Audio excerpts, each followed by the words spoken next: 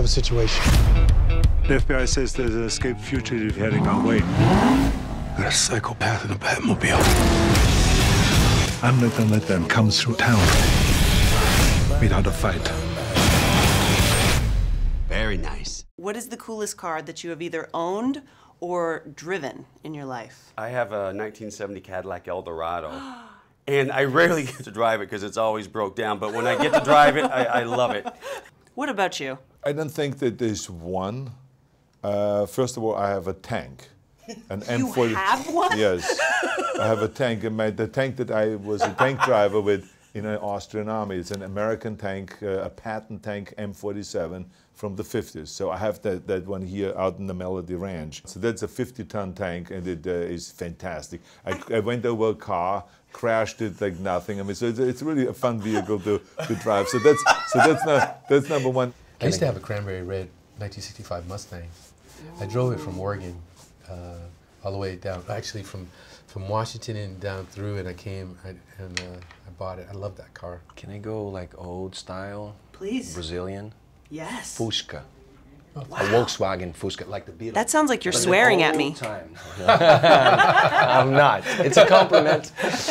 Well, thank you. Can I talk about motorcycles instead? Please. okay. I was like, I drive a Prius. Uh, so I have a, a 2005 Bonneville Triumph. Bonneville. Yeah. I actually don't take it on the freeways. I take it on the side roads. I'm really responsible with it because those things are dangerous, especially in LA. But I like to just cruise, you know, go grab a coffee, go for a drive, you know. You cannot take the coffee with you on the bike. No, no, no, no. That's why I do espresso really quick. Get on the bike. Shot get and go. Of coffee, of espresso. Let's Right. clarify. in the movie, we have a whole bunch of vehicles. Uh-huh. That, that Corvette goes over 200 miles an hour. We have the Camaro that goes like 180 miles an hour. We have all these cars that are like five, 600 horsepower.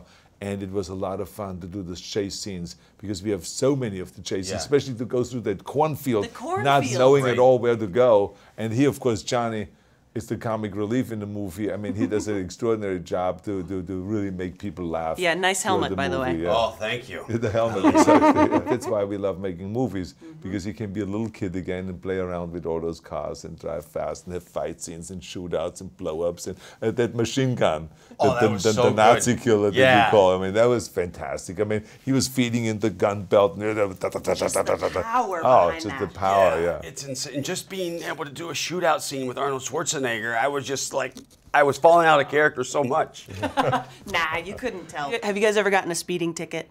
Passing stops or red lights. Oh. we have. A, I mean, Do you do the a police- California roll through a stop sign?